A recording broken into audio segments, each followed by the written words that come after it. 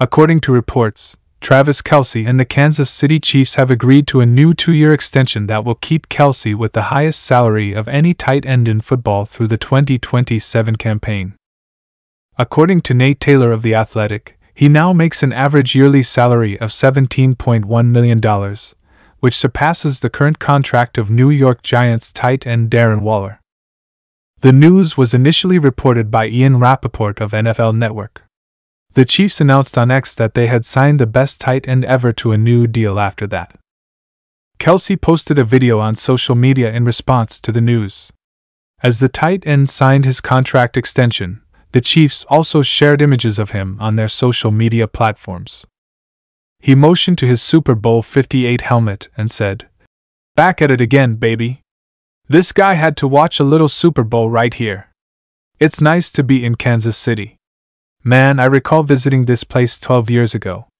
I'm honored and delighted to be involved, and I'm eager to put in the next two years of work. Not any better than they are at this moment. Getting excited about the new year.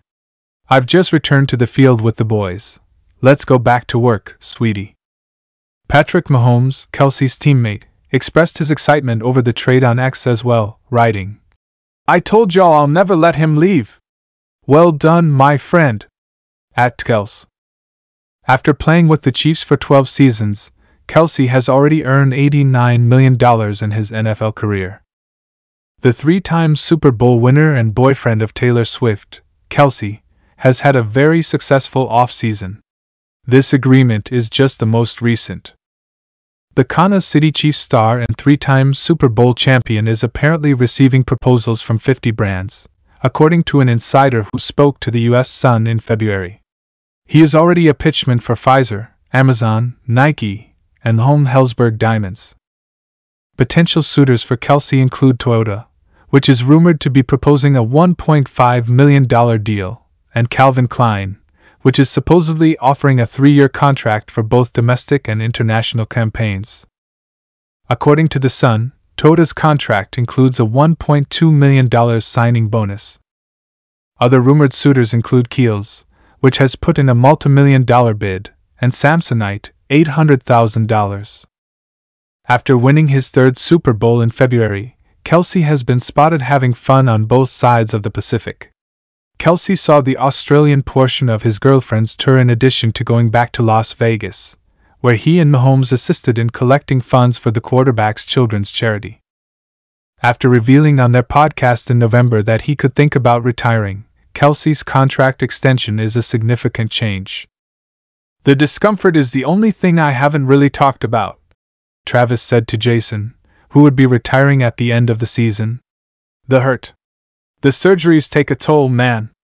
The lingering injuries, the 10 surgeries I've had that I still feel every single surgery to this day. They have an impact.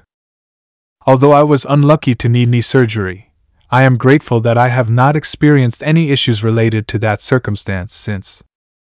In 2013, Kelce had surgery to fix his injured knee, and in 2017, he underwent another procedure for his shoulder.